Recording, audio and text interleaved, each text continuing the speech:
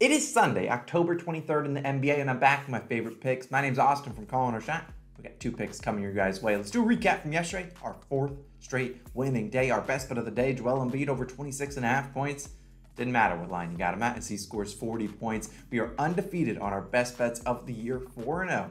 Let's make that 5 and 0 today. We added Paolo Banchero's over 16 and a half points. He gets that done. And then we had two losers, which were the Cavaliers team total under, as they could not miss. And then Morant and the Grizzlies get absolutely blown out. So he has no chance getting his assist line. But either way, a 2 and 2 day. That's why we put more money on the best bet of the day. And we get a little bit of a winning day. We will take that. If you are new to the Calling Our Shot channel, what are you doing? Go down below, hit that subscribe button. We do these videos every single morning. They normally post between 8 and 9 a.m. Eastern time. So you have something to wake up to, drink your coffee, and watch the videos. We have a couple other NFL videos. We know it's Sunday, so a lot of people will be watching the NFL. We have two of them. Well, this video, my favorite player props and parlays for week seven in the NFL. You can go check out that. It was posted yesterday afternoon slash evening. And then we have this one, which is talking about spread, my three favorite spread or over under picks this weekend. We've been cashing spread and over under picks at like a 65, 68% clip. We've been crushing it. Player props too. You know how we do. Let's get my best bet of the day. Let's go to 5 and 0. I will shout out all our new COS All Stars at the end of the, uh, the video. So we appreciate you guys.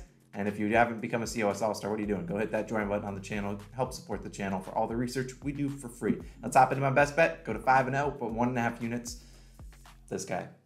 Yeah, you see his name, Zion Williamson. We're taking this over 24 and a half points, minus 102 on FanDuel. Yes, I know there's a couple books at 23 and a half, but I don't want to lay minus 130 juice on a Zion prop. And if he ends on 24 points, and so be it. I'd rather get minus 102, which is better value. Now, so far this season, we've seen Zion obviously return to the court. And he hasn't necessarily played the greatest, hasn't played terrible. I mean, he's still a very talented player. He's faced the Nets and the Hornets. And versus Brooklyn, scored 25 points, hitting this over. He's at 11 for 22 from the field. And then their second game against the Charlotte Hornets, he went out, scored 16 points on 7 of 19 shooting. Now, he was an odds boost victim. It's not his fault. But I don't see Zion shooting this poorly against a team like the Utah Jazz who stink. Now, the Jazz have actually surprised a lot of people. What they don't do well is they don't play defense too well. And the good thing about Zion is, despite this, we could see a blowout here with the Pelicans blowing him out. I don't see it, but it could be a blowout. The Jazz have actually been competitive in their game so far, but we still saw Zion play 30 plus minutes in that Nets game. And that was a blowout. They're up by like 26 points in the third quarter. And the best part about Zion is even if it is a blowout, he usually plays the beginning of the fourth quarter. We normally see starters rested, you know, that final six minute stretch if it's like a 25 point game. But Zion's a guy that starts the second and starts the fourth quarter with the second units. That's normally when he scores a lot of his points. Now, today, Zion, gets to return home in New Orleans, his first home game since I don't really know. It's been a while. So I imagine he'll be amped up and the crowd will be amped up to see him too. And why we like him against the Jazz? Well, the Jazz, they had one, had no rim protection, and two, that has led to them averaging the most points per paint points per game allowed in the paint this season at 66. We know a guy like Zion, he's not out there shooting threes. If he starts knocking down threes, the Jazz might be in a world of pain. But this is a guy that's going to be coming into the paint and laying it up or dunking on people. This is what he does. He lives in the paint. It's hard to stop him. You just got to hope he misses. And he's missed so far this year, but with a little bit of rust. But I don't see him missing against the Jazz team with very little rim protection. Zion's a guy that's a 59.9% career guy from the field, and he's shooting 43.9% so far this year adds to do a little bit of positive regression. And if the shot volume continues to be good, I'm going to keep taking Zion props. I'm going to be honest with you guys. If they continue to set it at 24 and a half and he's consistently shooting, you know, 18 to 22-ish times per game, Zion's going to easily hit this over for the majority of the time. Zion scored 25 plus points in 22 of his last 25 games with 18 or more field goal attempts. Like a reminder, he had 19 and 22 field goal attempts in the first two games. And yes, I know he's not guaranteed to go out there and shoot 18 times. I've seen Brandon Ingram, I've seen CJ McCollum play. So one of those guys gets hot, they're just like, eh, Zion who?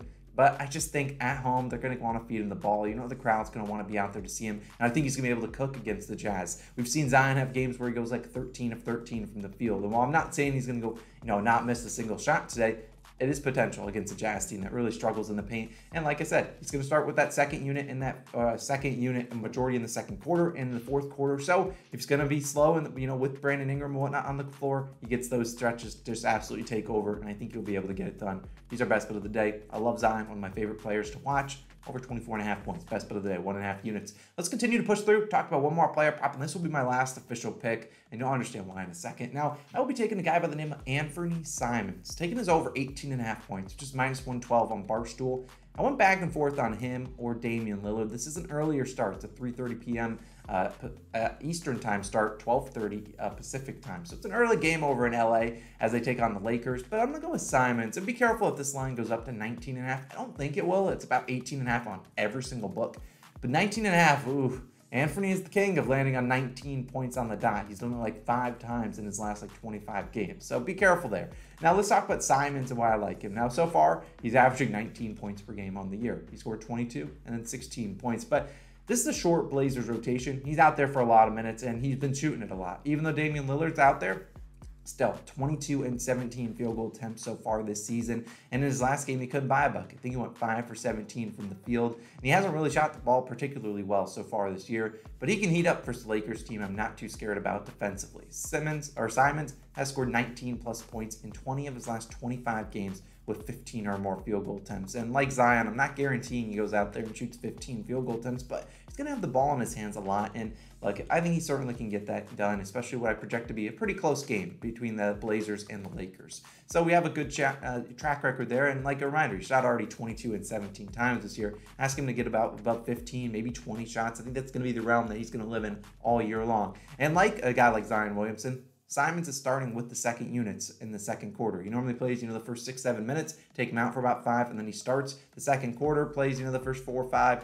comes out for like two minutes and ends the quarter. And then the fourth quarter, when it's winning time, he plays sometimes the whole 12 minutes, which is awesome. Now, so far last year, Simon scored 19 and 29 points versus the Lakers. It's worth noting Damian Lillard didn't play in those games, but I'm not too worried about Lillard ball hogging today. I think he's going to have Patrick Beverley harassing him, and I think you have the better matchup with a guy like Simons, who's likely I can't project who guards who, but he maybe is probably being guarded by Russell Westbrook, who we know isn't the best defender, and Russell Westbrook sometimes lazy on defense. So Simons, if he wants the backdoor cut him or get wide open threes, perfectly fine with me. Damian Lillard's not afraid to pass the ball to his open teammates, and ultimately, I just think Anthony Simons has a pretty good game, especially after going five for 17 in his last game. A little bit of positive regression. This is a, a better, one of the better shooters in the NBA, at least from the long, from distance, and a lot of his shots are going to be from three. So we just need to knock down some shots. Certainly capable of doing it. I think the over/under is like 224 for this Lakers game going to be a lot of points. They should be about a 110 to 110 ish game. So I think Simon could certainly get us 19 points out of those, you know, 100 and whatever points that the Blazers do score, especially with that short rotation. They don't really have a lot of backup guards. Now, Anthony Simons over 18 and a half points. Those are my that's those are my two plays of the day. Now let's talk about a couple leans. And I'm sorry I don't have a spread pick that I like today, but I'll give you a lean. I like the Wizards plus three and a half. I like Kyle Kuzma's over 16 and a half points. And I still do like Damian Lillard's over 24 and a half points. Now, as I record this video, we don't have lines for a couple other games, and there's a reason there's no official spread pick today. I, I just didn't really like anything on the slate. I mean, Cavaliers team totals 100% soaring under as they're going to score like 80 points today, and that's probably why I like the Wizards plus three and a half. I think the Wizards are quietly a pretty good team. Cavs on a back-to-back. They just made every single shot yesterday there's no chance they do it back to back games. They could rest some guys today too. We don't really know. It's early in the season. So that's why I lean the Wizards. I think they could get it get an upset there. But I won't make that an official pick because I just don't like any of the spreads. There's a lot of big spreads in this one, a lot of big favorites, and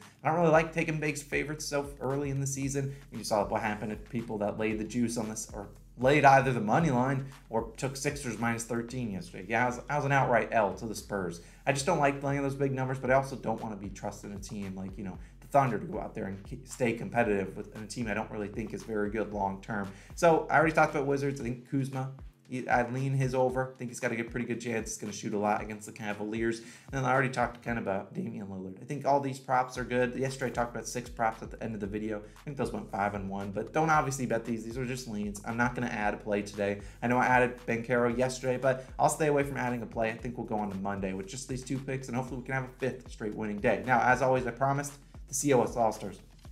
I love seeing this list grow. We've been helping you guys make some money.